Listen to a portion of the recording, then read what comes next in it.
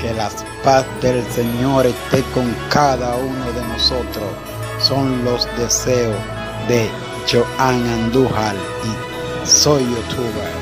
Feliz Navidad. ¡Jo, jo, jo, jo, jo!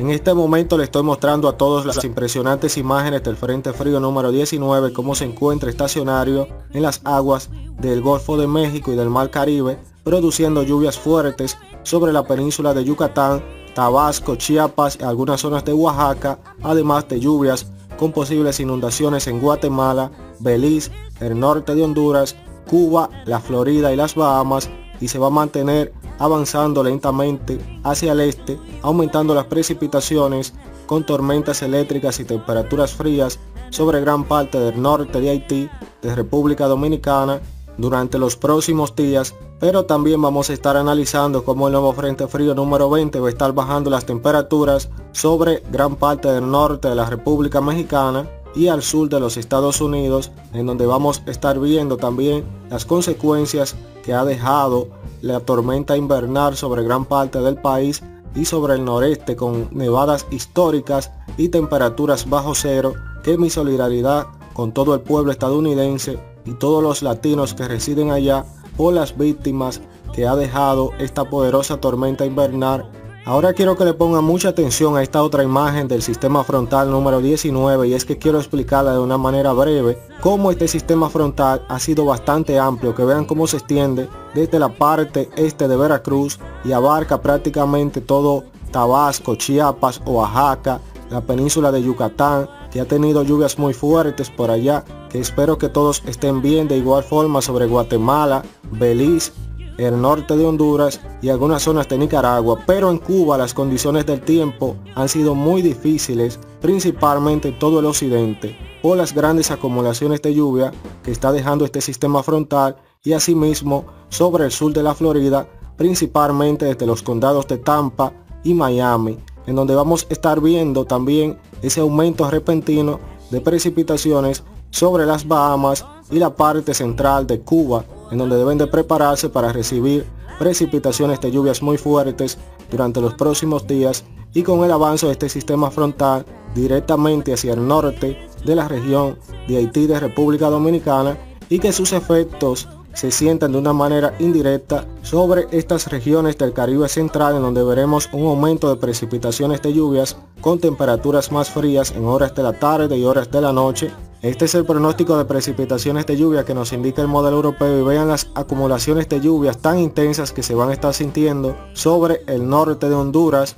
el este de Guatemala, Cuba, el estado de Quintana Roo, Belice y el sur de la Florida y las Bahamas. Y a medida que este sistema frontal avance hacia el este, esas condiciones del tiempo se van a mantener y se van a extender hacia algunas zonas del este de Nicaragua y gran parte del centro de La Habana, Cuba, en donde también van a estar siendo muy afectados con posibles inundaciones que si usted reside tanto en la isla de Cuba como en gran parte de Centroamérica, en el sur de la Florida y las Bahamas, debe de tomar las medidas del lugar y seguir las indicaciones de la Oficina de Meteorología Local. Además vemos cómo se va a extender en combinación con una vaguada principalmente desde el miércoles y jueves de esta semana, con lluvias muy fuertes que pueden generar algún tipo de inundación localmente sobre el este y centro del país, en donde vemos este acumulado de lluvia que incluso se extiende hacia algunas zonas del occidente de Puerto Rico. Si le ponemos atención ahora al Frente Frío número 20 de esta temporada, vean cómo va a llegar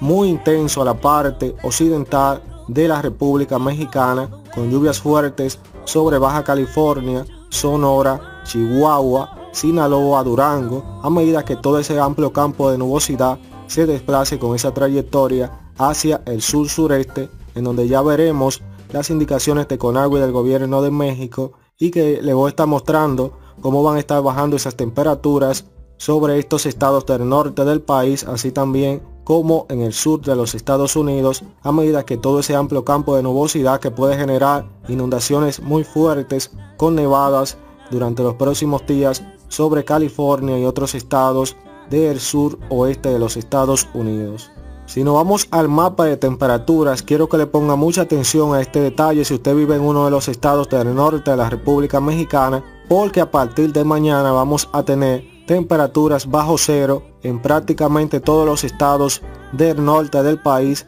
en donde veremos de hasta menos 5 grados Celsius y menos 2 sobre los estados de Sinaloa, Durango y otras zonas del norte de México, así como posibilidad muy alta de caída de nieve sobre los estados desde Sonora, Chihuahua, Coahuila, Nuevo León, Tamaulipas y que se van a extender hacia otros estados debido a esa masa de aire frío que se mantiene estacionaria en gran parte del país. Pero en los Estados Unidos las condiciones seguirán muy extremas en donde mi solidaridad con todo el estado de Texas que he visto las condiciones que han producido esta tormenta invernal en donde millones de personas han sentido sus efectos, que Texas se caracteriza por ser un estado bastante cálido al igual que la Florida y hemos visto cómo todos estos eventos en los días de Navidad han sido muy drásticos lamentablemente para estos estados del sur del país y que continuarán durante los próximos días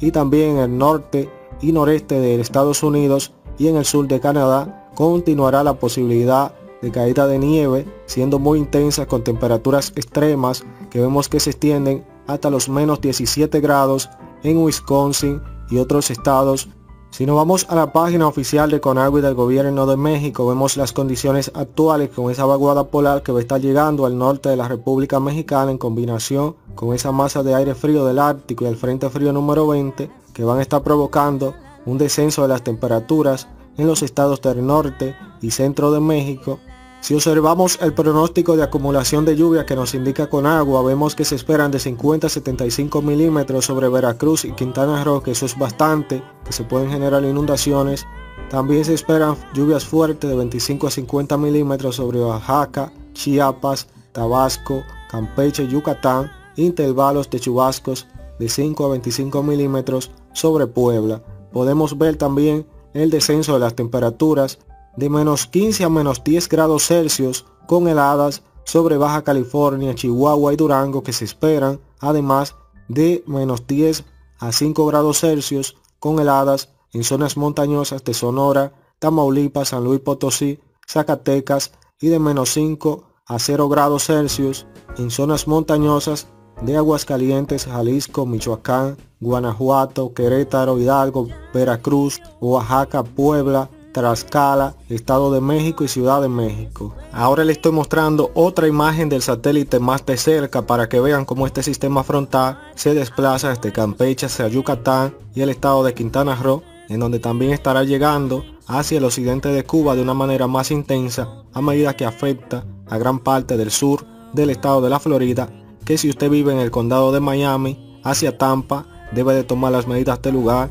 durante las próximas 48 horas, asimismo como en el occidente y centro de Cuba y las Bahamas, debido a que este sistema frontal está siendo muy intenso, que se ha mantenido prácticamente estacionario en las aguas del Golfo de México y ahora en su llegada hacia el Mar Caribe, en donde Centroamérica va a ser muy afectada directamente con este sistema frontal y gran parte del Caribe central.